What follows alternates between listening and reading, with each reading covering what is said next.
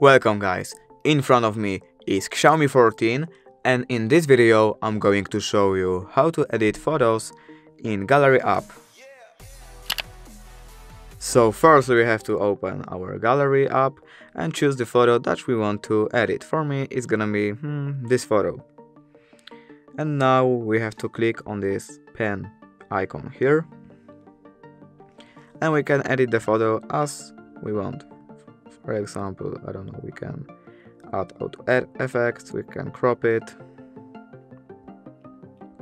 we can put on some filters, we can adjust brightness, exposure, contrast, saturation.